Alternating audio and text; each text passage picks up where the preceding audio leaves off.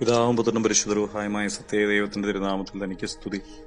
നമ്മുടെ മേൽ തന്റെ കരുണയും മനോഗുണവും എന്നേക്കും ഉണ്ടായിരിക്കട്ടെ ആമി പരിശുദ്ധ സ്ലീഹന്മാരുടെ നോമ്പിനോടനുബന്ധിച്ചിട്ടുള്ള ചിന്താ പദ്ധതിയുടെ അവസാന ദിവസത്തിലേക്ക് ദൈവം നമ്മളെ കൊണ്ടെത്തിച്ചിരിക്കുക ഇന്ന് സ്ലീഹന്മാരിൽ ഏറ്റവും ഒടുവിലത്തേവനായിരിക്കുന്ന വിശുദ്ധ മത്തിയാസ്ലിഹായുടെ ജീവിതത്തെക്കുറിച്ച് ധ്യാനിക്കാമെന്ന് ആഗ്രഹിക്കുക. വിശുദ്ധ മത്താസ് മത്തായി മത്തിയാസ്ലിഹായുടെ ജീവിതം.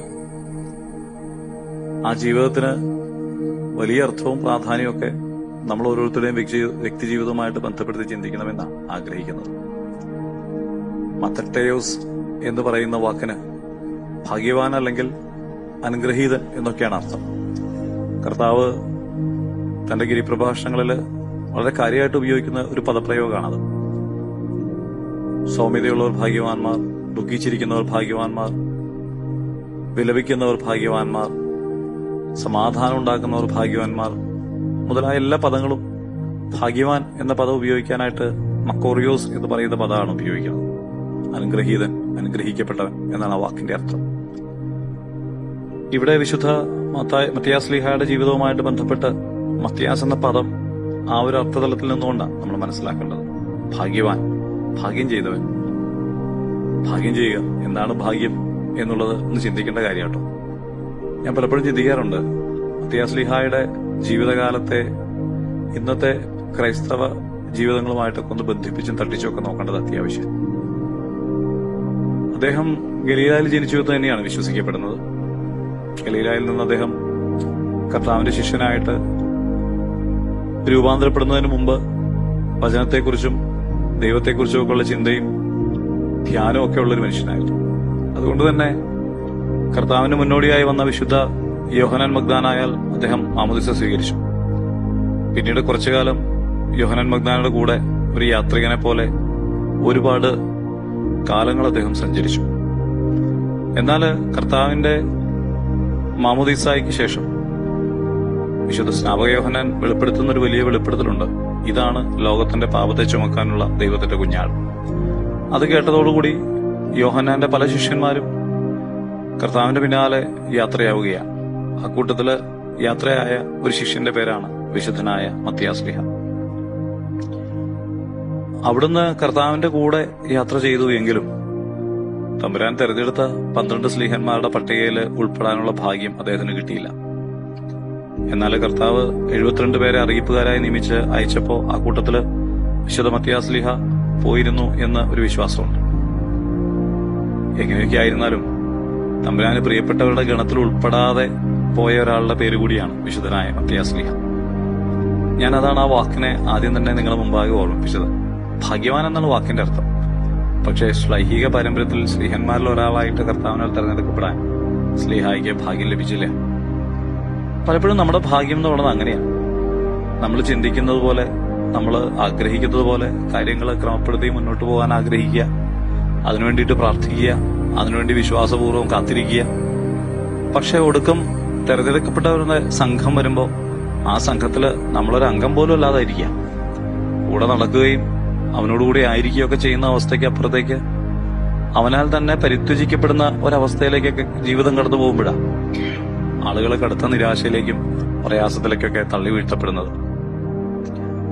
അങ്ങനെയുള്ള ആധുനിക സമൂഹത്തിന്റെ മുമ്പാകെ നമുക്ക് വരച്ചു കാട്ടാവുന്ന ധ്യാനിക്കാവുന്ന ഒരു വലിയ ചിന്താവിഷയം കൂടിയാണ് വിശുദ്ധനായ മത്യാസ്ലിഹ അവിടുന്ന് കർത്താവിന്റെ കൂടെ നടന്നു. അവന്റെ എല്ലാ പ്രവർത്തനങ്ങളും കണ്ടു. അവനോടുകൂടെ ആയിരുന്നു. അവനു വേണ്ടി ത്യാഗങ്ങൾ സഹിച്ചു. അവനു വേണ്ടി അറിയിപ്പുകാരനായിട്ട് അയക്കപ്പെട്ടു. ഇതെല്ലാം സംഭവിച്ചു. പക്ഷെ തിരഞ്ഞെടുപ്പിന്റെ സമയത്ത് അവൻ വളരെ വേഗത്തിൽ തിരസ്കരിക്കപ്പെടുകയാണ്. അത് അദ്ദേഹത്തെ നിരാശപ്പെടുത്തി എന്ന് വേദപുസ്തകത്തിലോ അദ്ദേഹത്തിന്റെ ജീവിതത്തിലോ കാണാൻ സാധിക്കുന്നില്ല. മറിച്ച് കൂടുതൽ തീക്ഷ്ണതയോടെ കർത്താവിന്റെ പിന്നാലെ അദ്ദേഹം വഴി ഏറ്റെടുത്ത് പോകാനായിട്ടാണ് ആഗ്രഹിക്കുന്നതും ചരിത്രത്തിൽ നമ്മൾ കാണുന്നതും. റൂബൻ ഗോത്രത്തിൽ ജനിച്ച വിശുദ്ധ സ്ലീഹ എന്നല്ലാതെ അദ്ദേഹത്തിന്റെ ബാല്യത്തെക്കുറിച്ചോ അല്ലെങ്കിൽ അദ്ദേഹത്തിന്റെ മാതാപിതാക്കളെ കുറിച്ചുള്ള അറിവുകളൊന്നും ചരിത്രത്തിൽ എവിടെയും കാണുന്നില്ല.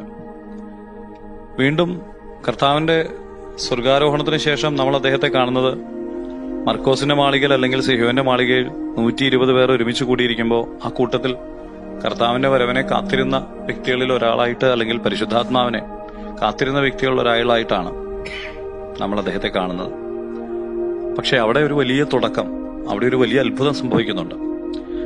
പ്രസ്കീസിന്റെ പുസ്തകം ഒന്നാം അധ്യായം ഇരുപത്തിയൊന്നാമത്തെ തിരുവനം ഓർമ്മപ്പെടുത്തുന്നത് ഇങ്ങനെയാണ്. കർത്താവായ യേശുക്രിസ്തു യോഹന്നാന്റെ സ്നാനം സ്വീകരിച്ചത് മുതൽ നമ്മളെ വിട്ട് ആരോഹണം ചെയ്ത നാൾ വരെ. നമ്മളുടെ ഇടയിൽ സഞ്ചരിച്ചു പോകുന്ന കാലത്തെല്ലാം ഞങ്ങളോടുകൂടെ നടന്ന പുരുഷന്മാരിൽ ഒരുത്തനെ. ഞങ്ങളോടുകൂടെ അവന്റെ പുനരുദ്ധാനത്തിന് സാക്ഷിയായി തീരണം എന്നുള്ള വലിയ പ്രഖ്യാപനം വിശുദ്ധ പത്രോസ്ലിഹ നടത്തുന്നുണ്ട്. ആ പ്രഖ്യാപനത്തിന്റെ തുടർച്ചയായിട്ട് രണ്ടുപേരെ അവർ എഴുന്നേൽപ്പിക്കുന്നുണ്ട്. അതൊന്ന് ബർഷബ എന്ന പേരുള്ള യൗസേപ്പും മറ്റൊന്ന് മത്യാസുമാണ് ഇവരിൽ നിന്ന് സാക്ഷ്യം ലഭിച്ച അല്ലെങ്കിൽ തങ്ങളോടൊപ്പം ആയിരുന്നു എന്ന് അപ്പോസൽമാര് പ്രഖ്യാപിച്ച ഈ മനുഷ്യരിൽ നിന്നുള്ള രണ്ടുപേര് അവരെയാണ് ജീവിതത്തോട് ശ്ലൈഹിക ജീവിതത്തോട് ചേർത്ത് നിർത്താനായിട്ട് സ്ത്രീഹന്മാർ ആഗ്രഹിക്കുന്നത്. തുടർന്ന് ദൈവസന്നിധിയിൽ പ്രാർത്ഥിച്ച് അവർ നെറുക്കിടുന്നുണ്ട്. ആ നെറുക്ക് മത്യാസിന് വീണുവെന്ന് രേഖപ്പെടുത്തിയാണ് ഇവിടെ ഞാൻ ഓർമ്മപ്പെടുത്തുന്നത് തെരഞ്ഞെടുപ്പിന്റെ സമയം എപ്പോഴാണെന്നുള്ളത് നമുക്കറിയില്ല. അവൻ നമ്മളെ നമുക്കായി നമ്മിൽ നിന്ന് വേർപിരിച്ച് അവനായിട്ട് വേർതിരിക്കുന്ന സമയം ഏതാണ് എന്ന് നമുക്കറിയില്ല. ഇടയ്ക്കൊക്കെ പരിത്യജിക്കപ്പെട്ടോ അല്ലെങ്കിൽ ഞാൻ ഉപേക്ഷിക്കപ്പെട്ടോ എന്നുള്ള ചിന്തയൊക്കെ സാമാന്യ ജീവിതത്തിൽ കടന്നു വരാവുന്ന തന്നെയാണ് അങ്ങനെ കടന്നു വരുമ്പോഴും ജീവിതത്തോട് ചേർത്ത് ധ്യാനിക്കേണ്ട ഒരു വിഷയം എന്റെ കർത്താവ് എനിക്കായിട്ടൊരു ദിവസം കരുതി വെച്ചിട്ടുണ്ട് എന്നുള്ളതാണ് ആ വലിയ ലോകത്തിന് മുഴുവൻ സാക്ഷിയാക്കിക്കൊണ്ടാണ് അപ്പസ്തോലനായ വിശുദ്ധ പത്രോസ്ലിഹ പറയുന്നത്. ഞങ്ങളും അവകാശം നേടുന്ന സമയത്ത് ഞങ്ങളോടൊപ്പം അവകാശം സ്വീകരിക്കാൻ ഒരുവൻ കൂടി വേണം. അതൊരു വലിയ പ്രഖ്യാപനമാണ്. എന്നിട്ട് അതുവരെ ഉണ്ടായിരുന്ന മുഴുവൻ ചരിത്രങ്ങളെയും ചരിത്ര സത്യങ്ങളെയും ജനത്തിനു മുമ്പിൽ അവതരിപ്പിച്ചുകൊണ്ടാണ് സ്നേഹന്മാരാൽ തന്നെ രണ്ടുപേരും തെരഞ്ഞെടുക്കപ്പെടുന്നത് അതിലൊരുവനായി വിശുദ്ധനായ മത്തിയാസ്ലിഹ തെരഞ്ഞെടുക്കപ്പെടുന്നു. സ്ത്രീഹന്മാര് അദ്ദേഹത്തിന്റെ തലയിൽ കൈവച്ച് അവർക്ക് പട്ടം കൊടുത്തു എന്നൊക്കെ വിശുദ്ധനായ ഐറിനിയോസ് രേഖപ്പെടുത്തുന്നുണ്ട്. അത്തരത്തിൽ ഒരു പട്ടംകുടയുടെ ക്രമമൊക്കെ അന്നുണ്ടോ എന്നുള്ളതൊന്നും നമുക്കറിയില്ല. പക്ഷെ അവരവരുടെ ജീവിതത്തിലേക്ക് ചേർത്ത് വെക്കാനായിട്ട് ക്രമീകരിച്ച ഒരു സംവിധാനം അന്നുണ്ടായിരുന്നു എന്നുള്ളത് സത്യമാണ്. തുടർന്ന് അദ്ദേഹം തന്റെ സുവിശേഷ വേലയ്ക്കായിട്ട് തിരഞ്ഞെടുക്കുന്നത് പലസ്തീൻ കപ്പദോക്കിയ അസ് അബ്സീനിയ അർമേനിയ തുടങ്ങിയ പ്രദേശങ്ങളാണ്. എന്നാൽ മറ്റൊരു പുസ്തകത്തിൽ അദ്ദേഹം യഹൂദയിൽ മാത്രമേ സുവിശേഷം അറിയിച്ചു കാണുന്നുണ്ട്.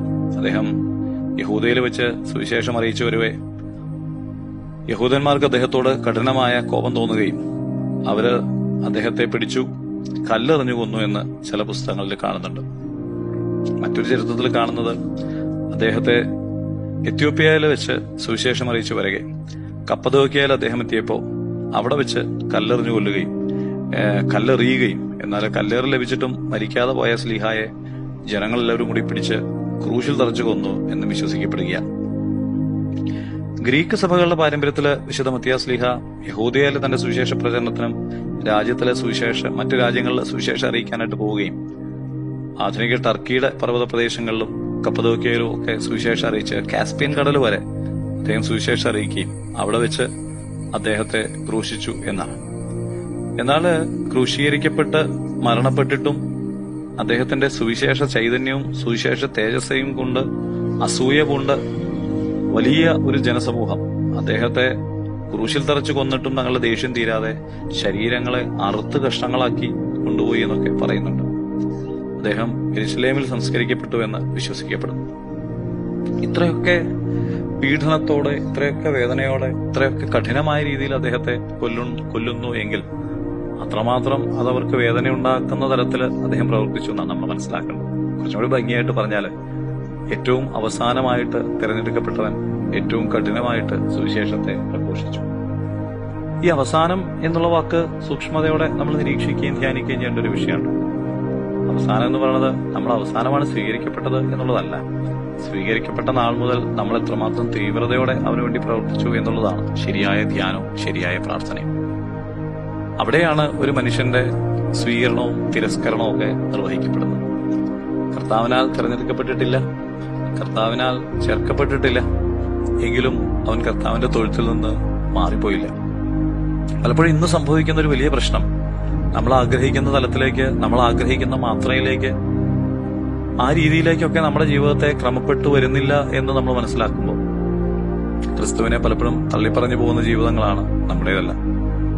അവിടെയാണ് മത്യാശ്രീഹ നമുക്കൊരു വലിയ മാതൃകയായിട്ട് ഒരു വലിയ സൂചകമായിട്ട് നമ്മുടെ മുമ്പാകെ നിലനിൽക്കുന്നു ഞാൻ അവസാനം വരെ സഹിച്ചു നിന്നു പക്ഷേ എന്നെ ക്രിസ്തു സ്വീകരിച്ചില്ല. അതിൽ എനിക്ക് പരിഭവമില്ല കാരണം എന്റെ നാഥന് എന്നെ കുറിച്ച് മറ്റൊരു പദ്ധതിയുണ്ട്. അനദർ പ്ലാൻ മറ്റൊരു പ്ലാൻ ഉണ്ട്. പദ്ധതിയുണ്ട്. വിശുദ്ധനായ മത്യാസ്ലീഹ ആ പദ്ധതിക്ക് അനുസരിച്ച് തന്റെ ജീവിതത്തെ ക്രമപ്പെടുത്തി. പരാതി പറയാനും കലഹിക്കാനും തർക്കിക്കാനും ഒന്നും പോകാതെ അവിടുന്ന് കാത്തിരുന്നു. ആ കാത്തിരിപ്പ് കർത്താവിന്റെ മരണത്തോളം കാത്തിരുന്നു. അല്ല അതിനപ്പുറം സ്വർഗാരോഹണത്തോളം കാത്തിരുന്നു. അവിടെ എന്നും സംഭവിക്കാത്ത ഒരു അത്ഭുതത്തിന് ഇനി സാധ്യതയില്ല എന്ന് തിരിച്ചറിഞ്ഞ് ഉപേക്ഷിച്ചു പോകാവുന്ന ഇടങ്ങൾ ധാരാളം ഉണ്ടായിരുന്നിട്ടും അദ്ദേഹം പോയില്ല മറിച്ച് അദ്ദേഹം അവരോടുകൂടെ തന്നെയായിരുന്നു. ക്രിസ്തു ഇല്ലെങ്കിൽ എന്റെ അപ്പോസ്തലന്മാർ. എത്ര മനോഹരമായ ഒരു കാഴ്ചപ്പാടാണ് ക്രിസ്തു ഇല്ല ക്രിസ്തു പോയി. ഇനി അവന്റെ അപ്പോസ്തലന്മാർക്ക് ഞാൻ കൂട്ടാളിയായിരിക്കുക. ഇതൊക്കെ ഒരു സഭയുടെ ദർശനത്തെയും ചൈതന്യത്തെയും കുറിച്ചും കൂടി ഓർക്കേണ്ട കാര്യങ്ങളാണ്. ക്രിസ്തു ഇല്ലാത്തപ്പോൾ നീ എവിടെ ആയിരിക്കണം എന്നുള്ള ചോദ്യത്തിനുള്ള ഏറ്റവും നല്ല മറുപടിയാണ് ക്രിസ്തുവിന്റെ അപ്പോസ്റ്റന്മാരുടെ കൂടെ ആയിരിക്കുക. ക്രിസ്തുവിന്റെ അപ്പോസ്റ്റന്മാരുടെ കാലത്തിന് ശേഷം നീ എവിടെയായിരിക്കും? അപ്പോസ്തോലിക പിതാക്കന്മാരുടെ കൂടെ ആയിരിക്കുക. അതിനുശേഷം നീ എവിടെയായിരിക്കും? അതിനുശേഷം ഞാൻ എന്റെ സഭയോട് കൂടിയായിരിക്കും അതാണ് ഏറ്റവും വലിയ ചിന്ത. ആ ചിന്തയിലേക്കുള്ള പ്രവേശനത്തിനെയൊക്കെ നമ്മളെ കൈപിടിച്ച് നടത്തുന്ന ആളുടെ പേര് കൂടിയാണ് വിശുദ്ധനായ മത്തിയാസ്ലിഹ എ ഡി എൺപതിനോടടുത്ത് അദ്ദേഹം മരണപ്പെട്ടു എന്ന് വിശ്വസിക്കപ്പെടുന്നു. അദ്ദേഹത്തിന്റെ തിരിശേഷി തിരിശേഷിപ്പുകൾ എരിശലേമിൽ സംസ്കരിക്കപ്പെട്ടു എന്ന് വിശേഷ വിശ്വസിക്കപ്പെടുന്നു. പിന്നീട് അവിടെ നിന്ന് അത് റോമിലേക്ക് കൊണ്ടുപോയി എന്നൊക്കെ ഹെലനി രാജ്ഞിയുടെ കാലഘട്ടവുമായിട്ട് ബന്ധപ്പെട്ട് വായിക്കുകയും ചിന്തിക്കുകയും ഒക്കെ നമ്മൾ ചെയ്യുന്നുണ്ട്. ഓർമ്മിപ്പിച്ച് അവസാനിപ്പിക്കാൻ ആഗ്രഹിക്കുന്ന ചിന്ത ഒന്നു മാത്രമേ ഉള്ളൂ. അദ്ദേഹത്തിന്റെ ജീവിതം നമ്മളെ ആവർത്തിച്ച് ആവർത്തിച്ച് പഠിപ്പിക്കുന്ന ഒരു കാര്യമുണ്ട്. ക്ഷമയോടെ കാത്തിരിക്കുക. സ്ലേഹന്മാരിൽ ഏറ്റവും ചെറിയവനായി അംഗീകരിക്കപ്പെട്ട വിശുദ്ധനായ മത്തിയാസ്ലിഹ നമ്മളെ വീണ്ടും വീണ്ടും ഓർമ്മിപ്പിക്കുകയാണ്. ക്ഷമയോടെ കാത്തിരിക്കുക. നമുക്ക് ഇന്ന് നഷ്ടപ്പെട്ടത് ഈ ക്ഷമയാണ്. ക്ഷമയില്ല. നമ്മൾ പ്രാർത്ഥിച്ചതും നേടുന്നതുമായ കാര്യങ്ങളൊക്കെ അപ്പപ്പ കിട്ടണം എന്നുള്ള ഒരു ചിന്ത. അല്ലെങ്കിൽ എനിക്ക് വേണ്ടുന്നതായ അംഗീകാരം സഭയിൽ സമൂഹത്തിൽ ലഭിച്ചിട്ടില്ല എന്നുള്ള ചിന്ത. അല്ലെങ്കിൽ എനിക്ക് സഭയിൽ നിന്ന് കിട്ടേണ്ടതൊന്നും കിട്ടിയിട്ടില്ല എന്നുള്ള ചിന്ത. ഈ ചിന്തകളൊക്കെയാണ് പലപ്പോഴും സഭയിൽ നിന്ന് വിശ്വാസികളെ പുറകോട്ട് വലിക്കുന്നതും മാറ്റിക്കളയുന്നതും എറിച്ചു കളയുന്നതല്ല.